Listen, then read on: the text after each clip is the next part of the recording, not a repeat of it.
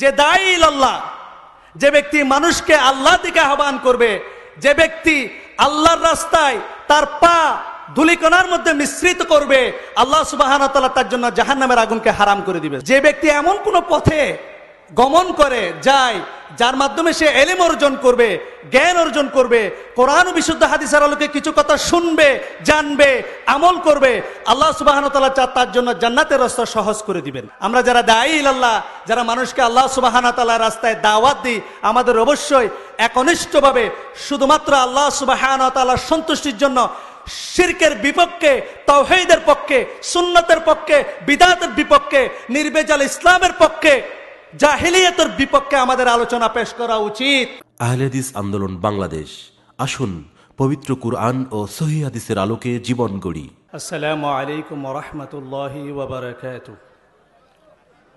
আলহামদুলিল্লাহ রবিল আলমিন والعاقبة للمتقين والصلاة والسلام على أشرف الأنبياء والمرسلين نبينا محمد وعلى آله وأصحابه ومن تبعهم بإحسان إلى يوم الدين.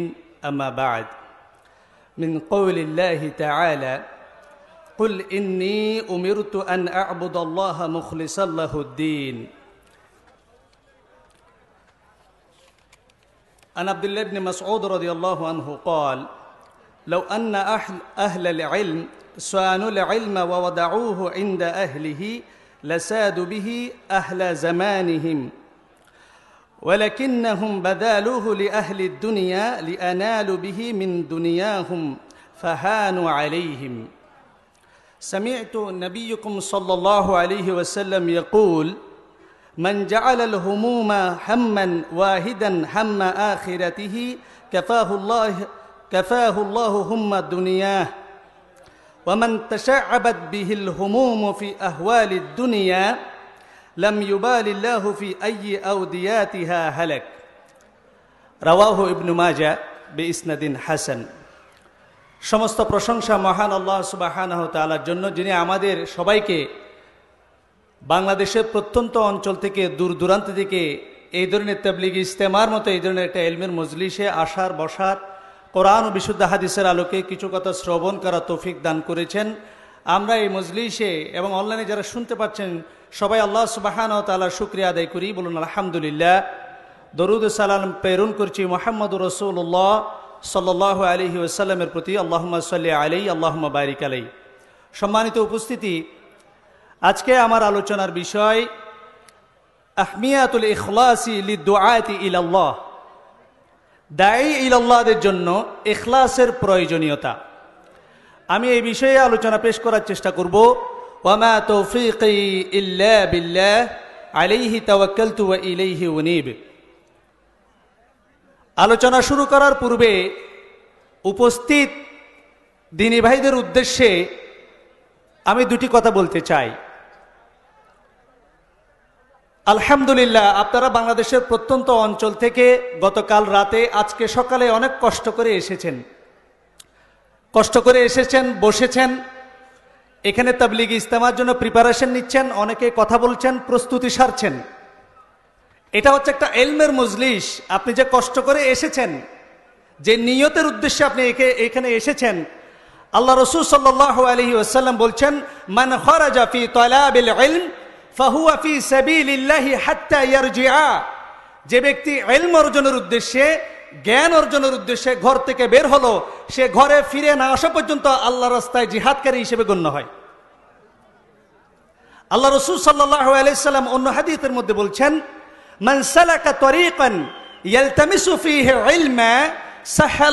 লাহু যে ব্যক্তি এমন কোন পথে গমন করে, যায়, যার মাধ্যমে সে এলেম অর্জন করবে, জ্ঞান অর্জন করবে, কোরআন বিশুদ্ধ হাদিসের আলোকে কিছু কথা শুনবে, জানবে, আমল করবে, আল্লাহ সুবাহন তার জন্য জান্নাতের রাস্তা সহজ করে দিবেন। সুতরাং তাবলিগি ইজতেমার মধ্যে বাংলাদেশের প্রত্যন্ত অঞ্চল থেকে দূর দূরান্ত থেকে যারা এসেছেন, বসেছেন, কোরআন বিশুদ্ধ হাদিসের আলোকে বক্তাগণ আলোচনা পেশ করছেন, শোনার চেষ্টা করবেন ইনশাল্লাহ আল্লাহ সুবাহান তালা এটা আপনার জন্য জান্নাতের ওসিলা করে দিবেন। সম্মানিত উপস্থিতি, একজন দাইল আল্লাহর জন্য এখলাস বা একনিষ্ঠতা ডেডিকেশন অত্যাবশ্যকীয় একটি জিনিস। দাইল আল্লাহর এখলাসের প্রয়োজনীয়তা বোঝার আগে আমাদেরকে দাইল আল্লাহ সম্পর্কে জানতে হবে। কাকে দায়ী ইলাল্লাহ বলা হয়? আল্লাহ সুবাহান তালার রাস্তায় কে আহ্বানকারী? আল্লাহ সুবাহান তালা সুরা ফুসিলাত যেটাকে সুরা হামিম সাজদা বলা হয়, সেটা তেত্রিশ নম্বর আয়াতের মধ্যে বলছেন, ওয়ামান আহসানু কওলাম মিম্মান দাআ ইলাল্লাহ, ওয়া আমিলা সালিহা, ওয়া ক্বালা ইন্নানি মিনাল মুসলিমিন। তার চেয়ে উত্তম কথা আর কার? যে মানুষকে আল্লাহ সুবাহান তালার দিকে আহ্বান করে, যে ব্যক্তিটা হচ্ছে দাইল আল্লাহ যে ব্যক্তি মানুষকে আল্লাহ সুবাহান তালার দিকে আহ্বান করে নিজে সৎ আমল করে এবং বলে, আমি হচ্ছি মুসলমান। I submitted my will to almighty Allah সুবাহান আমি নিজের ইচ্ছাকে, নিজের খায়েশ, নিজের শাখাওয়াতকে আমি আল্লাহ সুবাহান তালার কাছে সারেন্ডার করে দিয়েছি, আত্মসমর্পণ করে দিয়েছি। আমি হচ্ছে মুসলমান। আল্লাহ সুবাহান তালা বলছেন, তার চেয়ে উত্তম কথা আর কার? সুতরাং তিনি হচ্ছেন দাইল আল্লাহ যে ব্যক্তি মানুষকে আল্লাহ সুবাহান তালার দিকে আহ্বান করে। তিনি হচ্ছেন দাইল আল্লাহ। একজন দাইল আল্লাহর জন্য এখলাস একজন দাইল আল্লাহ যখন মানুষকে আল্লাহ তালার দিকে আহ্বান করবে, তার সে আহ্বানটা তখনই সওয়াব বা নেকিতে আল্লাহ সন্তুষ্টি হিসেবে গণ্য হবে। যখন সে দাইল আল্লাহর মধ্যে এখলাস থাকবে ডেডিকেশন থাকবে, অর্থাৎ শুধুমাত্র আল্লাহ সুবাহান তালার সন্তুষ্টির জন্য সে কাজটি করবে। এই জন্যই আলোচনার শুরুতে আমি একটু কোরআন থেকে আয়াত তেলাওয়াত করে শুনিয়েছি। সুরাজ জুমারের মধ্যে আল্লাহ সুবাহান তালা বলছেন, কুল টেল দেম বলো তুমি, হে মোহাম্মদ সাল্লাহ আলাইসাল্লাম ইন্নি উমিরতু আন আবুদাল্লাহ মুখলিসাল্লাহুদ্দিন বলো, হে মোহাম্মদ সাল্লাহ আলহি ওয়াসাল্লাম কেয়ামত পর্যন্ত যত উম্মতে মোহাম্মদী আসবে, কোরআন যতদিন পর্যন্ত এক্সিস্টিং থাকবে, ততক্ষণ পর্যন্ত উম্মতে মোহাম্মদী যাতে শোনে, বলো হে মোহাম্মদ সাল্লাহ আলাইসাল্লাম আমাকে আদিষ্ট করা হয়েছে, আমি যাতে আল্লাহ সুবাহান তালার এবাদত করি, আনুগত্যের সাথে একনিষ্ঠ হয়ে সুবাহান আল্লাহ সুতরাং একজন দাইল আল্লাহ, যখন মানুষকে আল্লাহ সুবাহান তালার দিকে দাওয়াত দেবে তখন সে একনিষ্ঠতার দিকে দাওয়াত দিবে, একনিষ্ঠতার সহিত দাওয়াত দেবে। যখন একজন দাইল আল্লাহ একনিষ্ঠতার সহিত দাওয়াত দেবে, তখন তার কি মর্যাদা আল্লাহ সুবাহান তালার কাছে রয়েছে। একজন দাইল আল্লাহ, সে যদি এখলাসের সহিত, ডেডিকেশনের সহিত যদি আল্লাহ সুবাহান রাস্তায় দাওয়াত দেয়, তার কি ফদিলত তার কি তাৎপর্য রয়েছে? হাদিসটি এসেছে মিসকাতুল মাসাবিহের দুশো পঞ্চাশ নম্বর হাদিস। হাসান বসরি রহিমহল্লাহ হতে হাদিসটি মুরসাল সূত্রে এসেছে সুইলা রসুল্লাহ সাল্লাহ আলহি ওয়াসাল্লাম আন রজুলাইনি কানা ফি বনি ইসরাইল রসুল্লাহ সাল্লাহ আলিহি ওয়াসাল্লামকে বনি ইসরাইলের দুইজন ব্যক্তি সম্পর্কে জিজ্ঞাসা করা হলো আহাদুহুমা কানা আলিমান ইউসাল্লিল মাকতুবাহ ثم يجلس فيعلم الناس الخير তাদের একজন হচ্ছেন একজন আলেম, একজন দায়ী, যিনি ফরজ সালাত আদায় করার পরে, শুধুমাত্র ফরজ সালাত আদায় করার পরে তিনি মানুষকে তালিম দেয়, মানুষকে আল্লাহ সুবাহান তালা দিকে আহ্বান করে। তার মধ্যে কোনো বেশি কোনো নফল এবাদত নেই নফর জিকিল আজগার নেই। তিনি ফরজ সালাত আদায় করার পরে মানুষকে আল্লাহ সুবাহান তালা দিকে আহ্বান করেন, দাওয়াত দেন, তালিম দেন। ওয়াল আখারু, অপরজন হচ্ছে ইয়াসুমুন নাহারা ওয়া ইয়াকুমুল লাইল। অপরজন ব্যক্তি হচ্ছেন একজন আবেদ। যিনি মানুষ, যিনি দিনের বেলায় সিয়াম রাখেন, সারাদিন সিয়াম রাখেন, রাতের বেলা সারা রাত এবাদত করেন। আল্লাহ রসুল সাল্লাহ আলাইসাল্লামকে জিজ্ঞাসা করা হলো, আইয়ুহুমা আফজাল যে আলেম, ফরজ সালাত আদায় করার পরে মানুষকে আল্লাহ দিনের দিকে দাওয়াত দেয়।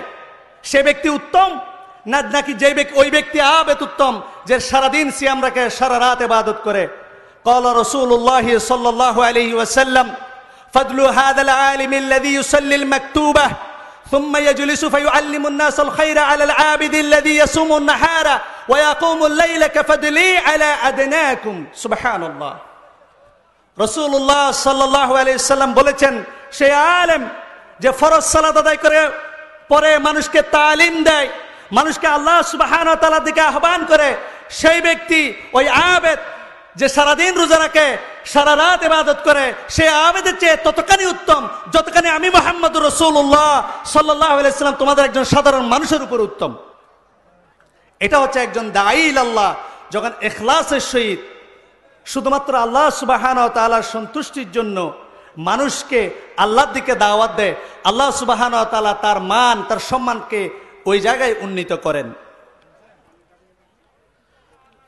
মিসকাতুল মাসাবিহের তিন হাজার সাতশো চুরানব্বই নম্বর হাদিসের মধ্যে আল্লাহ রসুল সাল্লাহ আলাইসাল্লাম বলছেন, মা অগাবারাত কাদামা আবদিন ফি সাবিলিল্লাহি ফাতামাসসাহুন নার যে দাইল আল্লাহ, যে ব্যক্তি মানুষকে আল্লাহ দিকে আহ্বান করবে, যে ব্যক্তি আল্লাহর রাস্তায় তার পা ধুলিকণার মধ্যে মিশ্রিত করবে, আল্লাহ সুবাহান তার জন্য জাহান নামের আগুনকে হারাম করে দিবে সুবাহান আল্লাহ এখানে যারা দাওয়াতের মিশন নিয়ে আছেন সারা বাংলাদেশে, যার উদ্দেশ্য নির্বেজাল তৌহিদের প্রচার ও প্রসার, জীবনের সর্বক্ষেত্রে কোরআন সুন্নতের যথাযথ অনুসরণ, সমাজের সর্বত্র তৌহিদের বিপ্লব ঘটানো, তাদের উদ্দেশ্যে সেই সকল দাইল আল্লাহদের উদ্দেশ্যে আল্লাহ সুবাহান বলছেন, আপনি যদি আল্লাহর রাস্তায় আপনার পাকে দুলাই মলিন করেন আল্লাহ সুবাহান বলছেন, আপনার শরীর জাহান্নাম কখনো স্পর্শ করবে না। সুবাহান আল্লাহ একজন দাইল আল্লাহ যখন একনিষ্ঠভাবে আল্লাহ সুবাহান তালার সন্তুষ্টির জন্য মানুষকে আল্লাহর রাস্তায় দাওয়াত দেয়, তখন আল্লাহ সুবাহান তালা তার ফজিলত এভাবেই বর্ণনা করেছেন। আল্লাহ রসুল সাল্লাহ আলী ওসাল্লাম সহি তরগিব ও তরহিবের দুই হাজার তিনশো আট নম্বর হাদিস আনজাবের রদি আল্লাহ আন عن النبي صلى الله عليه وسلم قال سيد الشهداء حمزة ابن عبد المطلب আল্লাহ রসুল সাল্লাহ আলাইসাল্লাম বলছেন শহীদদের মধ্যে সর্বোত্তম শহীদ শহীদদের নেতা সৈয়দুল সুহাদা হচ্ছে Hamza ibnu Abdul Muttalib listen carefully ওয়ারাজুলুন قام إلى إمام جائر فأمره ونهاه فقتله আল্লাহ রসুল সাল্লাহ আলাইসাল্লাম বলছেন, কোন ব্যক্তি হামজা আব্দুল মুত্তালিবের আব্দুল মুত্তালিবের মতো, সৈয়দ সুহাদার মতো, শহীদদের নেতাদের মতো সমমর্যাদার হতে পারবে? যদি কোনো সে অত্যাচারী শাসকের সামনে তাকে ভালো কাজের আদেশ দেয়, মন্দ কাজের নিষেধ করে, এই কারণে ওই স্বৈর শাসক তাকে যদি কতল করে, ওই ব্যক্তিও সৈয়দ সোহাদা হিসেবে গণ্য হবে। সুবাহান আল্লাহ যে ব্যক্তি আল্লাহ সুবাহান তালাকে খুশি করার জন্য আল্লাহ সুবাহান সন্তুষ্টির জন্য দাইল আল্লাহ হিসেবে একজন ট্রায়েন্ড রুলারের সামনে গিয়ে বলছেন what you have done is wrong আপনি যেটা করছেন সেটা ভুল। আপনাকে ভালো কাজ করতে হবে ইত্তাকিল্লা আপনি আল্লাহকে ভয় করুন। আপনি মন্দ কাজ থেকে ফিরে আসুন। এই কারণে যদি ওই স্বৈর শাসক, ওই ট্রায়েন্ড রুলার যদি ওই দাইল আল্লাহকে কতল করে, তাহলে তিনি হামজা ইবনে আব্দুল মুত্তালিবের মতো সৈয়দ সোহাদা হিসেবে গণ্য হবেন। সুবাহান আল্লাহ আল্লাহ রসুল সাল্লাহ আলহি ওসাল্লাম মিসকাতুল মাসাবিহের দুই হাজার একশো তেরো নম্বর হাদিসের মধ্যে বলছেন ইল্লা ইতনাইন দুইজন ব্যক্তির প্রতি হিংসা করা চলে। তার মধ্যে একজন হচ্ছে রজুলুন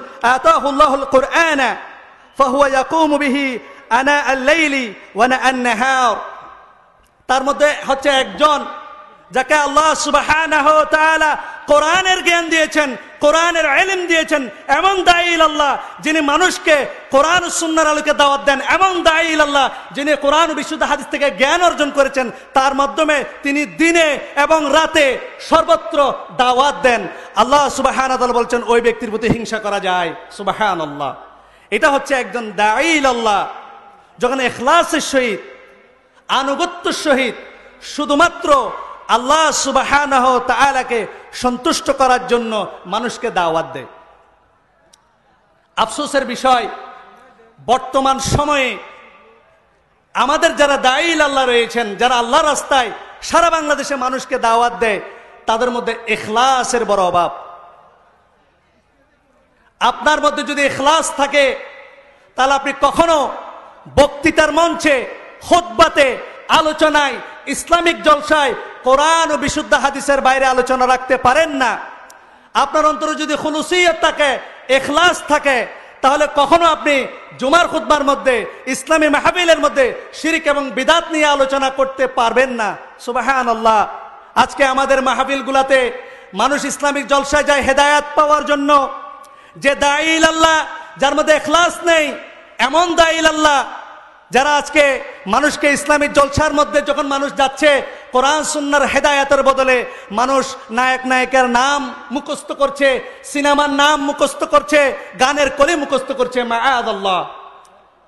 কোন দাইল আল্লাহ যদি ইসলামী মজলিসের মধ্যে খুদ্বার মধ্যে যদি এই আলোচনা পেশ করে, তাহলে জানতে হবে তার মধ্যে এখলাসের সমস্যা রয়েছে। দাইল আল্লাহদের মধ্যে যদি এখলাসের সমস্যা থাকে তাহলে আল্লাহ সুবাহান তাদেরকে কীভাবে অপমান করেন? যখন কোনো দাইল আল্লাহর লক্ষ্য উদ্দেশ্য হয়ে যায়, আমি এমন একটা ভাইরাল আলোচনা করব যাতে আমার বক্তব্য ভাইরাল হয়ে যাবে, মানুষ ভিউয়ার্স বেশি হবে, ইউটিউবের মধ্যে মনিটাইজেশন পাবো, আমি ভাইরাল হয়ে যাব, পরিচিত হয়ে যাব, আমি হেলিকপ্টার পাবো বক্তার বক্তা আমার সিরিয়াল থাকবে না। এই উদ্দেশ্যে, দুনিয়ার উদ্দেশ্যে যদি কোনো ব্যক্তি এখলাসকে ছেড়ে দিয়ে আল্লাহর রাস্তায় দাওয়াত দেয়, তাদের সম্পর্কে যে হাদিসটি আল্লাহ রসুল সাল্লাহ আলী সাল্লাম থেকে আব্দুল বিন মাসউদ রাদিয়াল্লাহু তাআলা আনহু বর্ণনা করেছেন লিসেন কেয়ারফুলি সুনান ইবনু মাজা দুশো সাতান্ন নম্বর হাদিস যেটা আলোচনার শুরুতে আমি বলেছিলাম আন আব্দুল্লাহ ইবনে মাসউদ রাদিয়াল্লাহু আনহু قال আব্দুল্লাহ ইবনে মাসউদ রাদিয়াল্লাহু আনহু বলছেন لو أن أهل العلم سانوا العلم ووضعوه عند أهله لسادوا به أهل زمانه أهل জামানিহিম। যদি আলেমরা, যারা দায়ীল আল্লাহ, যারা কোরআন, হাদিস, এলেম অর্জন করেছেন, তারা যদি তাদের এলমের হেফাজত করত এবং তাদের যোগ্য ব্যক্তিদের কাছে সেটা ট্রান্সফার করত, তাহলে আল্লাহ সুবাহান তাদের স্বীয় জনগণের জন্য তাদের উপর নেতৃত্ব দিতেন সুবাহান আল্লাহ যদি আলিমরা তাদের এলেমের হেফাজত করত এবং উপযুক্ত ব্যক্তিদের কাছে এলেমটা হস্তান্তর করে যেত আল্লাহ সুবাহ ওই আলেমদেরকে সাধারণ জনগণের নেতা বানিয়ে দিতেন ولكنهم بذلوه لأهل الدنيا لينالوا به من دنياهم فهانوا عليهم কিন্তু এই আলেমরা দুনিয়া পাওয়ার উদ্দেশ্যে দুনিয়াদারদের নিকট এই আল, এই এলেমকে বিতরণ করে দিয়েছে, যার মাধ্যমে দুনিয়াদারদের দ্বারা, এই ফাসেকদের দ্বারা এই আলেমরা লাঞ্ছিত হয়েছে।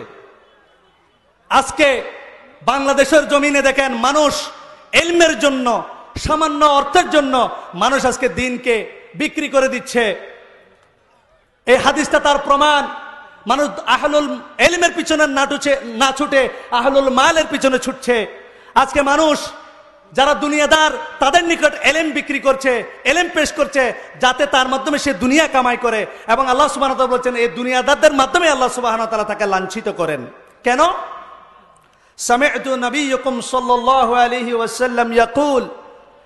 আমি মোহাম্মদ রসুল্লাহ সাল্লাহ আলি ওয়াসাল্লামকে বলতে শুনেছি, তোমাদের নবীকে বলতে শুনেছি। মান জাআলাল হুমুম হাম্মান ওয়াহিদান হাম্মা আখিরাতিহি কাফাহুল্লাহু হাম্মা দুনিয়া কোন ব্যক্তির কোন দাইল আল্লাহর কোন আলেমের যদি সমস্ত কাজ আখিরাতমুখী হয় আল্লাহর সন্তুষ্টির জন্য হয় আল্লাহ সুবাহান তার দুনিয়ার জিম্মাদারি নিয়ে নেন সুবাহান আল্লাহ ومن تشعبت به الهموم في أحوال الدنيا لم يبال الله في أي أودياتها هلك আর যে ব্যক্তির সমস্ত কর্মকাণ্ড দিনই কর্মকাণ্ড দাওয়াতের কর্মকাণ্ড সমস্ত কিছু দুনিয়া লাভের উদ্দেশ্যে হয় দুনিয়া কেন্দ্রিক হয় আল্লাহ সুবাহান তালা তার প্রতি কোনো চিন্তারোপ করেন না সে যেখানে ধ্বংস হোক তাতে আল্লাহ সুবাহান তালার কোনো চিন্তা নেই মাআদ আল্লাহ নাউদুবিল্লাহি মিন যালিক আল্লাহ সুবহানাহু ওয়া তাআলা আমরা যারা দাঈল আল্লাহ আছি, যারা আল্লাহ সুবহানাহু ওয়া তাআলা রাস্তায় মানুষকে দাওয়াত দিই এখলাস যদি, খুলুসিয়ত, আল্লাহ সুবহানাহু ওয়া সন্তুষ্টির জন্য একনিষ্ঠভাবে আল্লাহ সুবহানাহু ওয়া রাস্তায় দাওয়াতের মন মানসিকতা যদি আমাদের মধ্যে না থাকে, তাহলে দাওয়াত দেওয়ার পরেও আল্লাহ সুবহানাহু ওয়া তাআলা বলছেন, আমরা লাঞ্ছিত হব। সুতরাং আমরা যারা দায়ী আল্লাহ যারা মানুষকে আল্লাহ সুবাহানা তালা রাস্তায় দাওয়াত দিই, আমাদের অবশ্যই একনিষ্ঠভাবে শুধুমাত্র আল্লাহ সুবাহানা তালার সন্তুষ্টির জন্য শিরকের বিপক্ষে তৌহিদের পক্ষে, সুন্নতের পক্ষে, বিদাতের বিপক্ষে, নির্বেজাল ইসলামের পক্ষে, জাহিলিয়তের বিপক্ষে আমাদের আলোচনা পেশ করা উচিত। তুমি তোমার রবের প্রতি মানুষকে দাওয়াত দাও। আল্লাহ সুবাহান তালা আমরা যারা দায়ীল আল্লাহ আছি, তাদেরকে একনিষ্ঠভাবে খলসিয়র সহিত আল্লাহ সুবাহান তালাকে সন্তুষ্ট করার জন্য আল্লাহ রাস্তায় দাওয়াত দেয়া তৌফিক দান করুক। আল্লাহ আমিন। আল্লাহ রসুল সাল্লাহ আলহি ওয়াসাল্লাম, যে সকল দায়ীল আল্লাহ, যারা ইউটিউব, ফেসবুক, সোশ্যাল মিডিয়া খুদ্া ইসলামী জলসা, ইসলামী মজলিসের মধ্যে যারা দায়ীল আল্লাহ হিসেবে আসেন, যারা আলেম, যারা মানুষকে আলেম বিতরণ করেন তারা যদি একনিষ্ঠতার সহিত খলসিয়তের সহিত আখেরাত পাওয়ার আশায়, জান্নাত পাওয়ার আশায় আল্লাহ সুবাহতাল্লাহর সন্তুষ্টি অর্জনের জন্য যদি আল্লাহর রাস্তায় মানুষকে দাওয়াত না দেন, আপনাদের জন্য ভয়ঙ্কর দুঃসংবাদ রয়েছে। আল্লাহ রসুল ওয়াসাল্লাম একদিন জিবরিল আলহি সাল্লাতামের সাথে মেয়েরাজের রাত্রিতে গেলেন। আল্লাহ রসুল সাল্লাহ আলাইসাল্লাম দেখতে পেলেন জাহান্নামের মধ্যে কিছু খোদ্া বক্তা, আলোচক, ওয়াইএস, মুফাসসির কোরআন, এদের জিহবাগুলা জাহান্নামের আগুনের কাছে দিয়ে কাটা হচ্ছে। আল্লাহ রসুল সাল্লাহ সাল্লাম জিজ্ঞেস করল, এরা কারা? এদেরকে এত ভয়ঙ্কর কেন শাস্তি দেয়া হচ্ছে? এদের জিবাগুলো কেন আগুনের কাছে দিয়ে কাটা হচ্ছে? যারা দাইল আল্লাহ আছেন, যারা দোয়াত আল্লাহ যারা দোয়াত আল্লাহ যারা আল্লাহ রাস্তায় দাওয়াত দেন যাদের দাইল আল্লাহ লিসেন কেয়ারফুললি তারা কারা যাদের জিহবাগুলা আল্লাহ আল্লাহ ফেরেস তারা আগুনের কাছে দিয়ে কাটছে আল্লাহ রসুল সাল্লাহ আলাইসাল্লামকে বলা হলো قال الخطباء من أمتك الدين قال الخطباء من أمتك أمتك الذين يأمرون الناس بالبر وينسون أنفسهم তারা হচ্ছে আপনার ওদের উম্মতের মধ্যে সেই সকল মুফাসের কোরআন, সেই সকল উদীয়মান বক্তা, যারা মানুষকে আল্লাহ সুবাহান তালার দিকে, ভালো কাজের দিকে আদেশ করত, কিন্তু ভালো কাজের দিকে আদেশ করার পরে সেই বিষয়ে তারা ভুলে যেত। তারা কোরআন চর্চা করত, কিন্তু কোরআন অনুযায়ী আমল করত না। এরা হচ্ছে সেই তরুণ উদীয়মান বক্তা, সেই মুফাসের কোরআন। সারা জাগানো ইসলামী বক্তা যারা মানুষকে কোরআন, সুন্নার কথা বলতো, মানুষকে আল্লাহর দিকে ভালো কাজের দিকে আহ্বান করতো নিজেরা ভালো কাজ করতো না। কোরআন তেলাওয়াত করতো সুন্দরভাবে, কিন্তু সে কোরআন অনুযায়ী তারা আমল করতো না। আল্লাহ সুবাহ ওই সকল দাইল আল্লাহদেরকে শুধুমাত্র আল্লাহ সুবাহ সন্তুষ্টি না থাকার কারণে হলুসিয়ত না থাকার কারণে জাহান্নামের আগুনে এভাবে শাস্তি দিবেন। হাদিসটা সহি উত্তর তরহিবের দুই হাজার তিনশো সাতাশ নম্বরের মধ্যে এসেছে। চারজন ব্যক্তি চার ধরনের ব্যক্তিকে দিয়ে আল্লাহ রসুল সাল্লাহ আলাইসাল্লাম বলেছেন জাহান্নামকে উদ্বোধন করা হবে গ্র্যান্ড ওপেনিং ইনাগুরেশন জাহান্নামকে উদ্বোধন করা হবে চার শ্রেণীর ব্যক্তিকে দিয়ে তাদের মধ্যে এক শ্রেণীর ব্যক্তি হবে ورجل تعلم العلم وعلمه وقرأ القرآن فأتي به فعرفه نعمه فعرفها তার মধ্যে একজন ব্যক্তি হবে আলেম দাইল আল্লাহ যে নিজে এলেম শিখবে, অন্য কেউ এলেম শিখাবে এবং নিজে কোরআন তেলাওয়াত করবে। আল্লাহ সুবাহানা কেয়ামতের ময়দানে ওই দাইল আল্লাহকে ওই আলেমকে, ওই মুফাসসির কোরআনকে, ওই বক্তাকে বলবেন, তুমি আমার নিয়ামতের কথা স্মরণ করো। সে নিয়ামতের কথা স্মরণ করবে। সে বলবে, আল্লাহ সুবাহানা তালা বলবেন, তুমি আমার নিয়ামতের বিনিময়ে কে আমল করেছ? সে বলবে কয়লা تعلمت العلم وعلمته وقرأت فيك القرآن সে বলবে আল্লাহ আমি নিজে এলেম শিখেছি অন্যকে এলেম বিতরণ করেছি নিজে দায়ী হয়েছি অন্যকে আপনার রাস্তায় দাওয়াত দিয়েছি নিজে সুন্দরভাবে কোরআন তালাওয়াত করেছি আল্লাহ সুবাহান বলবেন কয়লা কেদাবতা তুমি মিথ্যা বলছো ولكنك تعلمت العلم لا يقال انك عالم তুমি ওই কারণে দাইল আল্লাহ হয়েছ, ওই কারণে আলেম হয়েছ। কারণ মানুষ তোমাকে বলব, ওই দেখো কত বড় আলেম, কত বড় উদীয়মান বক্তা, কত বড় মোনাজের জামান। নাউযু বিল্লাহি মিন যালিক। ওয়া ক্বরাআতাল কুরআনা লিইকালা হুয়া ক্বারি তুমি সুন্দর করে টান দিয়ে কোরআন তেলাওয়াত করতে, কারণ মানুষ যাকে তোমাকে বলে, ইস, কি সুন্দর কোরআন তেলাওয়াত করে, কত বড় কারি, বিশ্ববিখ্যাত কারি। সেজন্য তুমি সুন্দর করে কেরাত তেলাওয়াত করতে তুমি এলেম শিখেছো যাতে মানুষ তোমাকে বলে আলেম দাইল আল্লাহ বিখ্যাত মুফাসসিরে কোরআন বিখ্যাত কারি তুমি আমি আল্লাহ সুবহানাহু ওয়া তাআলার সন্তুষ্টির জন্য একনিষ্ঠভাবে তোমার এলেম অর্জন করনি কোরআন তেলাওয়াত করনি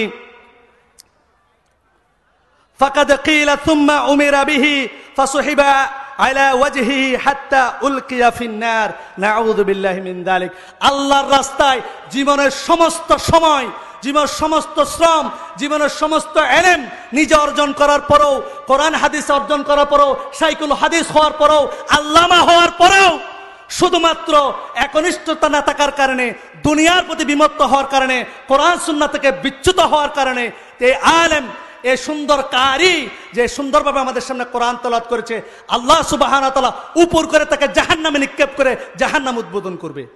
সুতরাং আমরা যারা দায়ী আল্লাহ আছি, যারা মাইক পেলে শিরিক বুঝি না, বিদাত বুঝি না। যারা আল্লাহ সুবাহান তালার কোরআন সুন্নার বাইরে গিয়ে কথা বলি, যারা যে বিষয়ে এলেম নেই, সেই বিষয়ে মানুষকে ফুসলিয়ে দিই, মানুষকে বিভ্রান্ত করি মানুষকে উস্কিয়ে দিই, আল্লাহর ঘর মসজিদ ভাঙার জন্য, আল্লাহর ঘর মসজিদ, মাদ্রাসা ভাঙার জন্য, কোরআন পড়ার জন্য তারা সতর্ক হয়ে যান। সুরাবন ইসরায়েলের মধ্যে আল্লাহ বলছেন, লা তাকফু মা লাইসা লাকা বিহি ইলম। ইল্লা السمع ان السمع والبصر والفؤاد كل اولئك كان عنه مسؤولا যে বিষয়ে তোমার জ্ঞান নেই সে বিষয়ে অনুমানের ভিত্তিতে পরিচালিত হয়েও না যে নিশ্চয় হৃদয় কর্ণ চক্ষু হৃদয়কে জিজ্ঞাসা করা হবে আল্লাহ সুবাহান তালা ওই সকল দাইল আল্লাহদেরকে দুনিয়ালবি দাইল আল্লাহদেরকে আমাদের ইমান আমল তৌহিদকে হেফাজত করুক আল্লাহ আমিন আল্লাহ রসুল সাল্লাহ আলাইসাল্লাম বলছেন আল্লাহ রসুল সাল্লাহ আলাইসাল্লাম যে সকল আলেম, যারা মানুষকে আল্লাহর দিকে দাওয়াত দেয়, যারা দাইল আল্লাহ জাহান্নামের মধ্যে এই ধরনের কিছু আলেমকে নিক্ষেপ করা হবে, যার ফলে তাদের নারী বুড়ি বের হয়ে যাবে। তাদেরকে দেখে মনে হবে এটা এমন একটা গাদা যেটা আটার যে জাতা সেটাকে ঘুরাচ্ছে, এভাবে সে ঘুরতে থাকবে। সে ছিল আলেম। তখন জাহান্নামীরা তাকে এসে জিজ্ঞেস করবে আই ফুলানু মা শাআনুকা আলাইসা কুনতা তা'মুরুনা বিল মা'রুফি ওয়ালা তানহানা আনিল মুনকার হে আলেম তুমি তো আলেম তুমি মানুষকে ভালো কাজের দিকে আহ্বান করেছো মন্দ কাজ থেকে নিষেধ করেছো তুমি জাহান্নামে কেন قال كنت آمركم بالمعروف ولا آتيه ولا آتيه সে আলেম তখন জাহান্নামের মধ্যে বলবে আমি মানুষকে ভালো কাজের দিকে আহ্বান করতাম কিন্তু নিজে ভালো কাজ করতাম না। নাউদুবিল্লাহি মিন যালিক। ওয়া আনহাকুম আনিল মুনকার ওয়া আতিহ। এবং মানুষকে আমি মন্দ কাজ থেকে নিষেধ করতাম, কিন্তু আমি মন্দ কাজের মধ্যে লিপ্ত হতাম। সুতরাং যারা দাইল আল্লাহ যারা আল্লাহ সুবাহান তালা রাস্তায় দাওয়াত দেন, তাদেরকে দাওয়াত দেওয়ার ক্ষেত্রে সতর্ক থাকতে হবে। আল্লাহ রসুল সাল্লাহ আলাইসাল্লামের শেষ হাদিস, এটা বলে আমি আমার আলোচনা শেষ করব। আল্লাহ রসুল সাল্লাহ আলাইসাল্লাম বলছেন, মান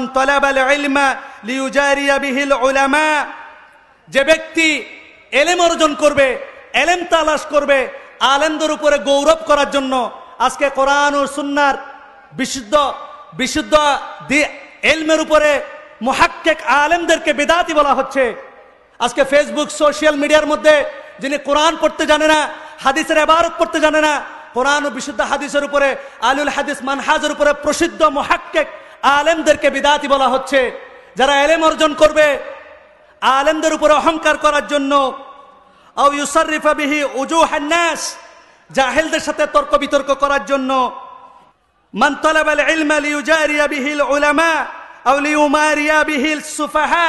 যারা জ্ঞান অর্জন করবে, আলেমদের উপর গৌরব করার জন্য জাহেলদের সাথে তর্ক করার জন্য মানুষকে নিজেদেরকে দিকে আকৃষ্ট করার জন্য সুন্দর কথা বলে, সুন্দর বাচন বাচনভঙ্গি দিয়ে, কনটেক্সটের বাইরের বিষয়ে কথা বলে, মানুষকে উশৃঙ্খল করে দিয়ে নিজের দিকে আকৃষ্ট করার জন্য যারা এলেম অর্জন করবে। আল্লাহ সুবাহান তাআলা ওই সকল দাইল আল্লাহদেরকে অবশ্যই জাহান নামে নিক্ষেপ করবেন। এই যারা দাইল আল্লাহ রয়েছেন, তাদেরকে অবশ্যই হলসিয়া সহিত আল্লাহ সুবাহান তালার সন্তুষ্টি অর্জনের জন্য আল্লাহর রাস্তায় দাওয়াত দিতে হবে। সেজন্য একজন দায়ীল আল্লাহ, যারা আল্লাহ রাস্তায় মানুষকে দাওয়াত দিবেন, তাদের মধ্যে অবশ্যই এখলাস থাকতে হবে। দুনিয়ার কোনো লোক থাকা যাবে না। এই জন্য প্রফেসর মোহতারাম আসাদুল্লাহ গালিব হাফিজুল্লাহ বলেছেন, ইনকামি বক্তা হয় না, ইসলামী বক্তা হও। যেটা সুরাতুল হুদের উনত্রিশ নম্বর আয়াতের মধ্যে নু আলাই সালাতাম নিজের কৌমের ক্ষেত্রে বলেছেন, ওয়া কৌমি লা আস, লা আসআলুকুম আলাইহি মালা। হে কৌম আমি আমার দাওয়াতের কারণে তোমাদের কাছে কোনো বিনিময় চাই না, দুনিয়ার কোনো সম্পদ চাই না। ইন্না আজরিয়া ইল্লা আল্লাহ নিশ্চয় আমার প্রতিদান হচ্ছে আল্লাহ সুবাহান তালার কাছে।